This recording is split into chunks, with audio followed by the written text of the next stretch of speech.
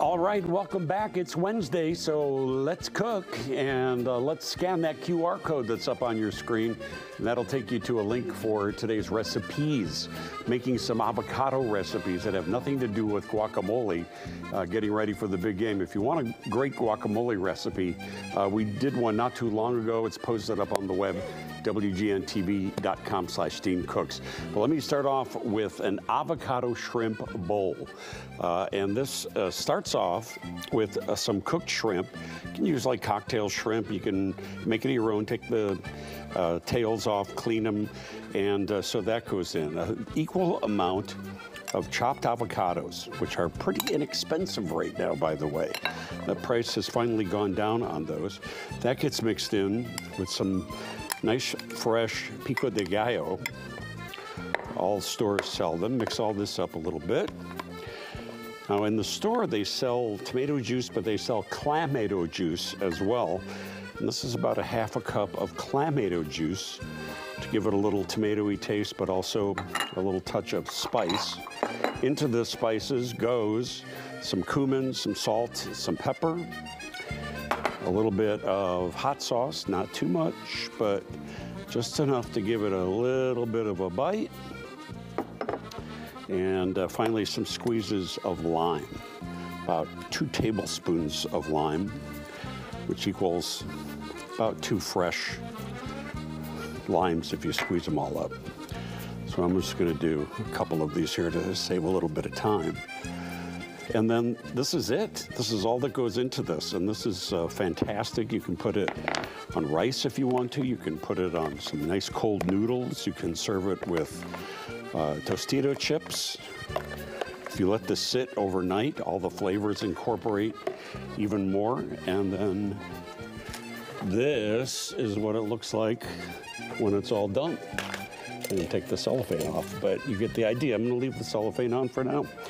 All right, our next recipe is a tomato and uh, hummus guacamole like mini sandwich. Uh, on one side of the toasted bread, this is toasted sourdough bread, a light coating of avocado, another coating of hummus on the other side, fresh coating of hummus. In the middle of all of that, We'll go a couple of fresh sliced tomatoes. And also some scallions and just a little bit of parsley to go in there as well. That's all there is to this really. It flips over, let me do this properly here, flips over on top, gets cut in half, and this is a great finger food right here. Here's what it looks like when it's all done. You can put a nice little plate of these super healthy and delicious sandwiches out.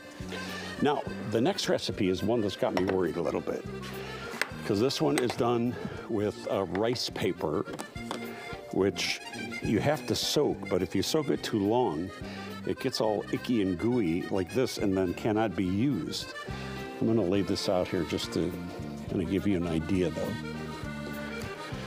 So onto this is a mixture of avocado, mashed avocado, uh, some cream cheese, green onions, red pepper.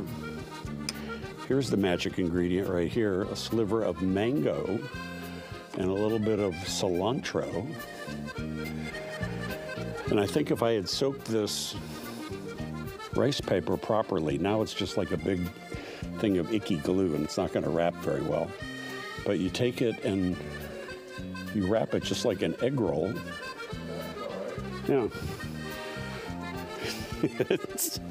it really is kind of disgusting.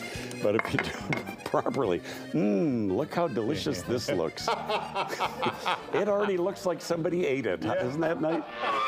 But I would recommend using a nice uh, tortilla instead, of a nice soft tortilla. It's a lot easier to manipulate and all the ingredients will still work with it. All right, you can get today's recipes by scanning the QR code that's on your screen with your smartphone. You can also go to WGNTV.com slash Dean Cooks And we automatically send you the recipes if you text the word cooks to 97999. I'll be back to cook more stuff that looks disgusting to eat uh, next week. Stick around.